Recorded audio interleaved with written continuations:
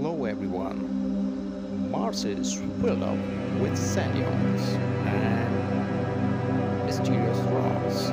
This photo released by NASA's Mars Perseverance rover on Sol 1115 of the mission Perseverance discovering more areas and more structures.